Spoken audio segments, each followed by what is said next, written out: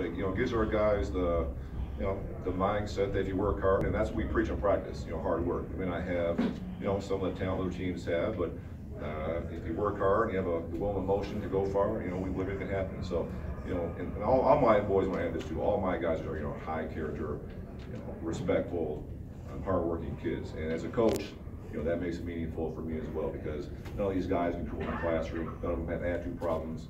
Um, they're all kids that you'd see in the street. They'd walk up to you and shake your hand and, you know, just polite kids. And that just speaks volumes of, you know, where these kids come from. And it makes it that much more enjoyable for me as a coach, you know, to have these guys with me.